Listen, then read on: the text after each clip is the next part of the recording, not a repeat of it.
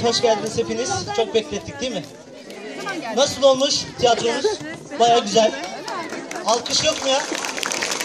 Alkış şimdi yapmayın lütfen. Evet yine bir bayram ve yine bir zafer tiyatrosuyla huzurlarınızdayız. Ee, yine sizler için hazırladığımız biz birbirinden güzel e, oyunlarımız var. Ama illaki içerisinde hatalarımız vardır, günahlarımız vardır, sevaplarımız vardır ama arkadaşlarımızı öncelikle bu eziyeti katlandıkları için e, onları biraz hoşgörüyle karşılamanızı istiyorum. Ve bu güzel geceyi başlatmadan önce hepinize bir kez daha hoş geldiniz diyorum. Alkışlamıyorlar, alkışlıyorlar. Evet, şimdi gecemizin, gecemizin tabii ki bölgesel, yöresel e, haber bültenine bağlanacağız.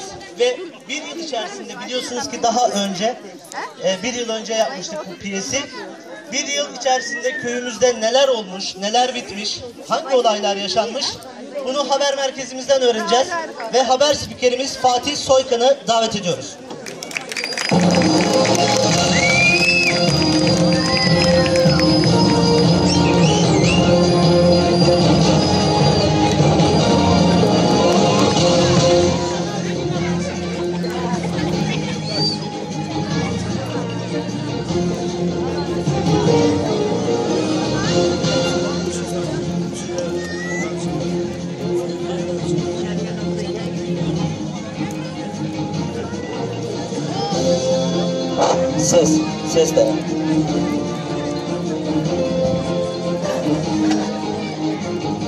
İyi akşamlar.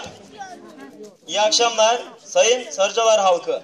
Yine bir yıl aradan sonra sıcağı sıcağına Sarıcalar haberlerini, gündemlerini bir yıl aradan sonra vereceğiz. Hepiniz hoş geldiniz, sabah geldiniz.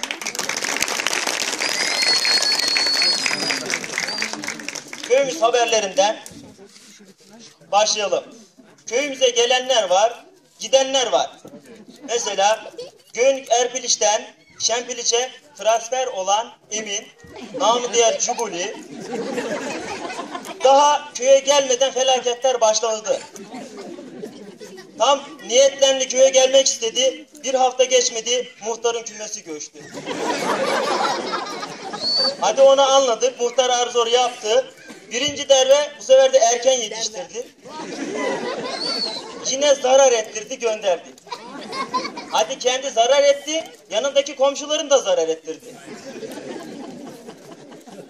Bu sefer de yanındaki komşusu Adem bu senin yüzünden dedi. Sen geldin, şeyler başladı.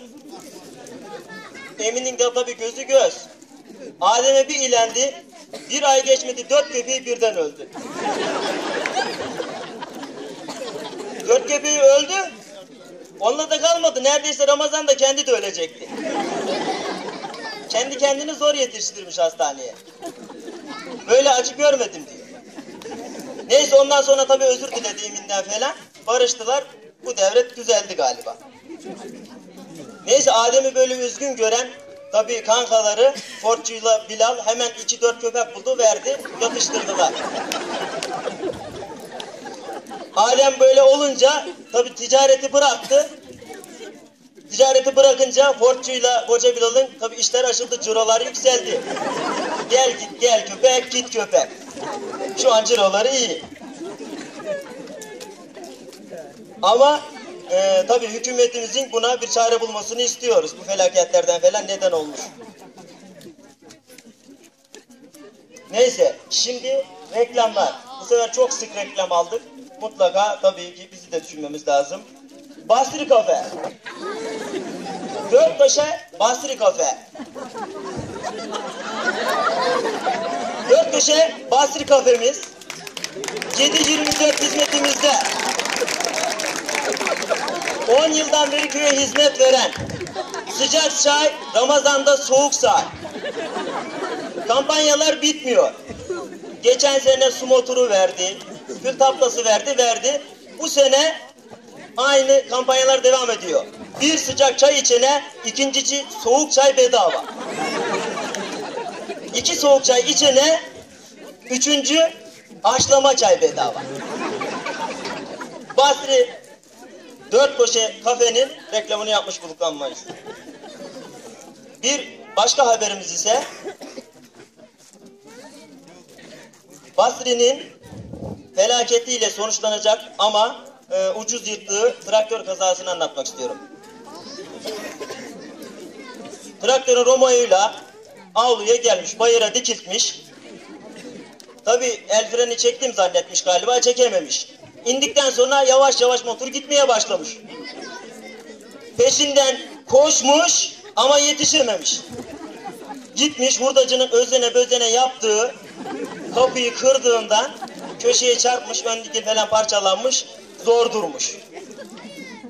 Ondan sonra neyse motoru kurtarmışlar ar zor. Dingil kopmuş, onu yaptırmışlar, yaptırmışlar ama hurdacı kapıyı yaptıramadı hala kapanmıyor. Neyse Basri'ye gittik sorduk. Olay nasıl gerçekleşti, nasıl oldu? Vallahi dedi ben de anlamadım. Motor yürümeye başladı. Baka kaldım arkasından. Bağırdım. Le gavurun malı nereye giden diye. Ama genetliğini dinlemedi vurdu dedi. Yapacak bir şey yok çok şükür. Çok şükür uzcu sıyırttı. Burada da ucuz atlatmış olduk. Yarabayla almadık. Yine reklamlar. Bu sefer de hurdacı. Köyümüzün yıllardan beri hurdasına işini yapan gördüğünüz gibi hurdacı reklamları. Ne zaman başın düşerse dara hurdacı Mehmet'i ara. Hurdacı Mehmet. Hurdacı Mehmet de demişken Hurdacı Mehmet'in ilk önce burada olduğunu keşfeden kimdir? Kim? Tabii ki yakışıklı İsmail. 20 sene önce kandilleri toplayıp balkona led yapıp asıyormuştu sensörlü. Herkesten kandil isterken görmüş. Daha o zamanlar küçük. Ya demiş ben bu çocuğun kandil toplarken iş yapacağını anladıydım demiş. Ondan sonra tabii koca balan motorunu Roma'yını tarttı, hurda fiyatını aldı falan. Aldı başını yürüdü. Neyse bir başka haberimiz Deralan Abdullah dayıdan. Deralan Abdullah dayı kübürde olmuş da olmuş hurdacıya söylüyor çekemiyor çektiremiyor neyse. Artık bir gün çektirecek olmuş bir bakmış hambarla kübürlüğün arasında bir yer kalmamış. Ne yapalım? Geçememiş tabi. Geçemeyince ne yapmış? Hambarın yarısını kesmiş oradan geçmeye başlamış. Tabi iyi bir çözüm. Kübürlüğü çekmektense nereden tambur dolanamamış. Kesmiş. Bir haberimiz de bu. Köyümüz hocasından da haberlerimiz var.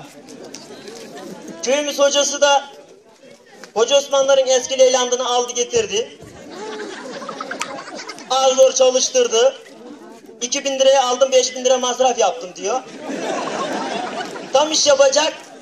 Bu sefer de diyor zevkim geçti diyor. Şey yapmayacağım diyor.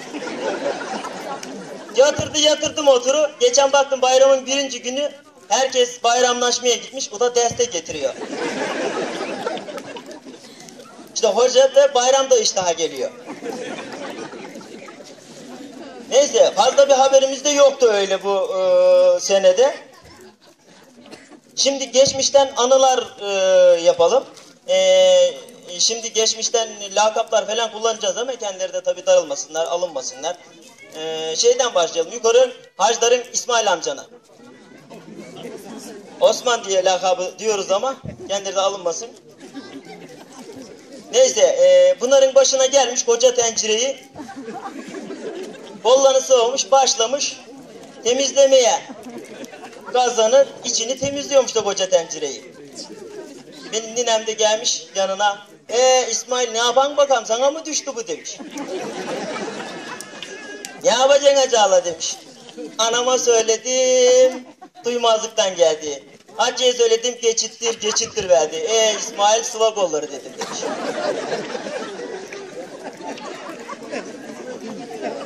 Basri Usta'nın da bir tane hikayesi. Eskiden tabi Göynük'te e, otogar, parklar eşekti. Eşek parkıydı, eşek otoparkıydı. Hanları açıyorlardı. İşte 3 liraya, 5 liraya, 1 liraya e, akşama kadar oraya gidip bağlıyordun. Tabi bilenler bilir. Akşamda gidip oradaki sahibine 1 lira verip eşeği alıp geliyordu. E tabi bu sigara almış, bir şeyler almış, dönmüş para yok. 1 lira istemiş. Kimse de kalmamış, eşeği vermiyormuş oradaki han sahibi. Ocakların Eren Havuz dayıyı görmüş.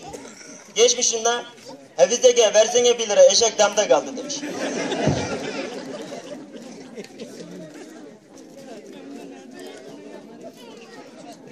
Eskilerden atasözleriyle de bitirmek istiyorum. Cemil annemin bir sözü varmıştı. Eğer işi kolayı bilmiyorsan, iş kolayı bilmiyorsan kötüye danış diye. Ondan sonra Hoca Hayri dayının koyunlarına canavar gelmiş. Canavar koyunu Azime kız diye bir tane kuz- koyunu varmış. Kapmış gidiyormuş. Elinde denacak bir fırlatıyor nacağı. Koyunu can havliyle bırakıp kaçıyor canavar. Azime de kızı yiye yazdın. Nacıyı da götüne yiye yazdın. şarkısında.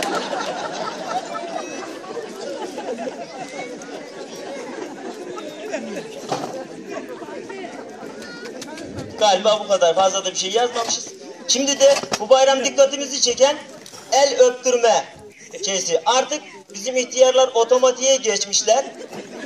Öyle güzel el öptürüyorlar. Bu sene çok rahat bir el öp, el öptük.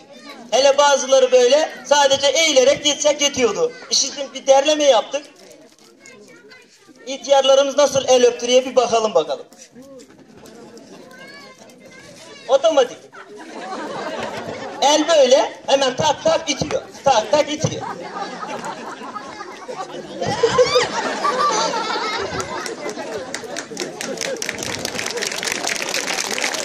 Tabii siz fazla bilmiyorsunuz. Biz yukarıda kimisi ağzını kimisi burnunu tutuyor böyle.